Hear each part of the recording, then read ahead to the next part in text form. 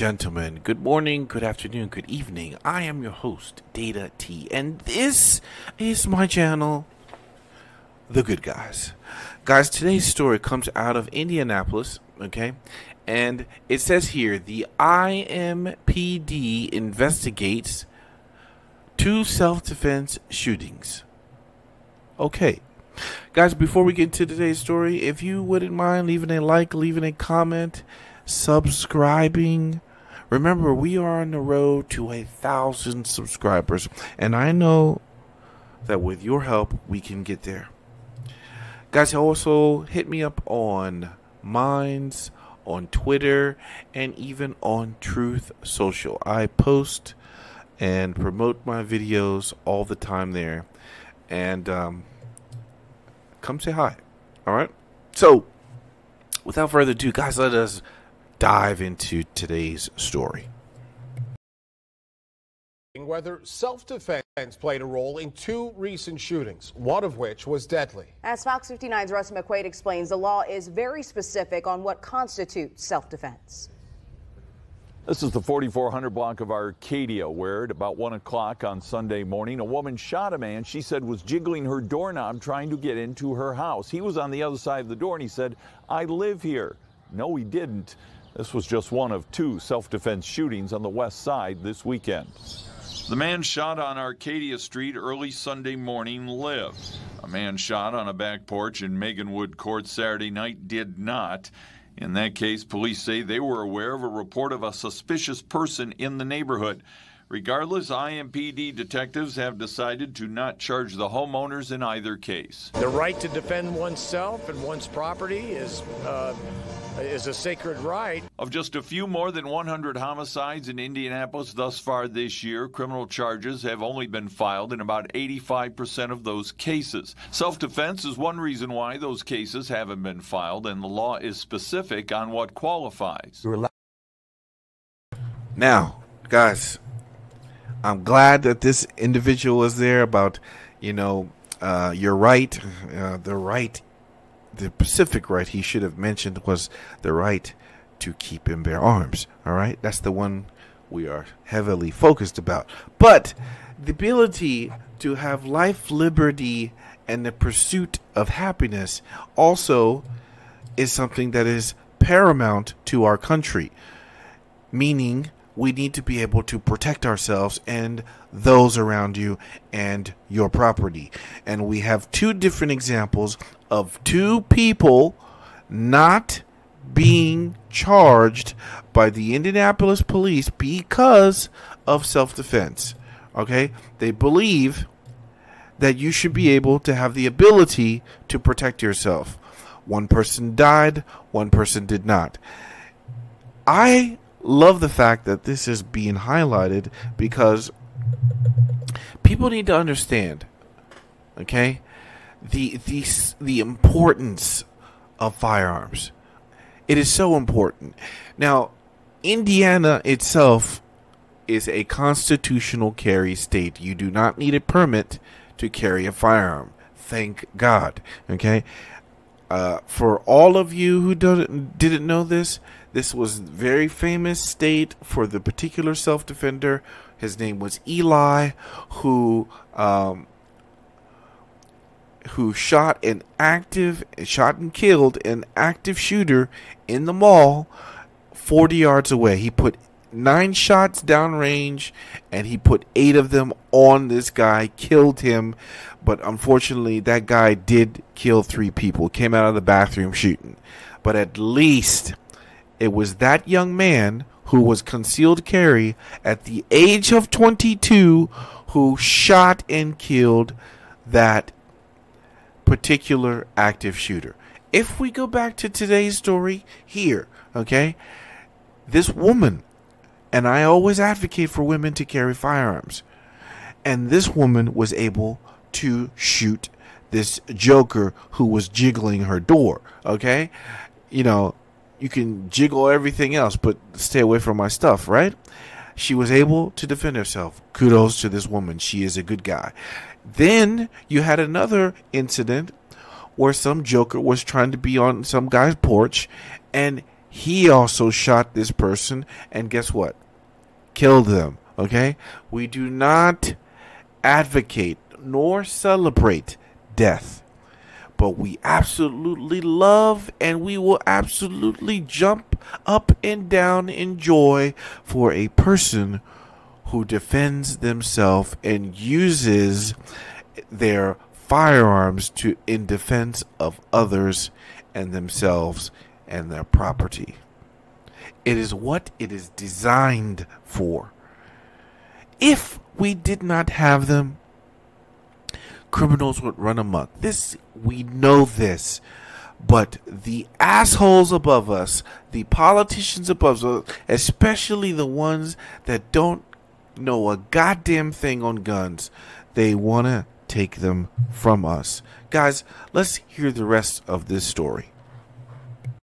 Allowed to use deadly force if a person enters your home. You can use deadly force if you reasonably believe that your life is going to be in danger or a family member or friend life will be in danger. If someone is charged and a case goes to trial, defense attorney Jeff Mendez says members of a jury in Indianapolis are likely to be gun owners themselves and may be inclined to see any criminal charges from a self defense point of view. I'd say 30 to 40 percent of individuals who are on juries either have a license to carry or are gun owners. If Guys, think about that. This is fantastic news to hear. Okay, and I gotta tell you, Indiana is a red state, and it's a great state to live in.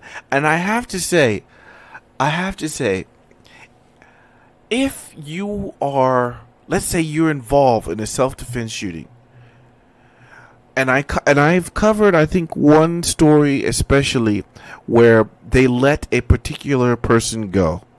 This was the young man with the animals, and um, now his family is going after the other family civilly. But guys, imagine you are in a courtroom and members of the jury are packing. They're thinking, "Oh, oh, oh, you you were in self, you were in fear of your life. Oh, I'm I'm I'm definitely voting not guilty." That's how it be. And it would be fantastic. It would send a message to everybody. Baba, you what you did you think you could just come in there and take his stuff? Did you just come in there and think you could just pose like this is your crib? No, Papa, you can't do that. You got shot? Oh, too bad. Not guilty. That's how it's got to be. That is how it has to be. And this is fantastic that they're highlighting this. 30% of the jury. So out of out of 9 or 12 jurors, you got what? 30%. Mm, 3 6 9 12. So that means yeah, at least 3. That's fantastic. That is fantastic. Okay? I I would say that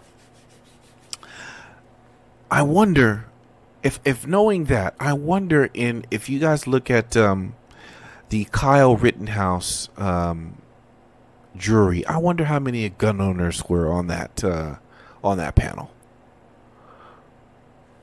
Just wondering. Let's finish out the story. If a charge like that is filed, you're to have a difficult time persuading a jury that you're guilty of a major crime like murder, manslaughter, so forth and so on. It'll be up to Marion County Prosecutor Ryan Mears to decide if the residents will face criminal charges. Russ McQuaid, Fox 59 News. Well, hopefully that is not the case.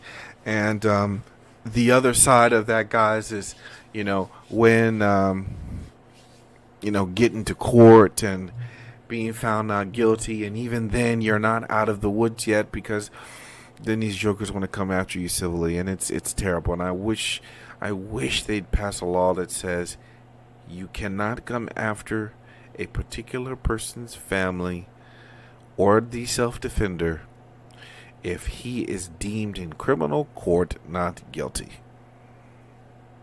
I, I, I, I really wish they would do something like that.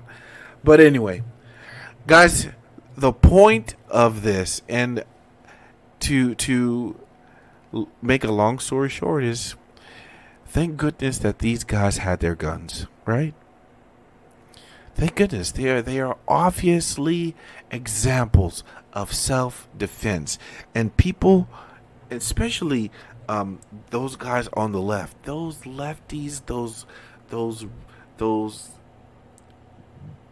head of an asses, donkey, uh, uh, caboose. Uh, I mean, they are they are uh, totally oblivious to firearms.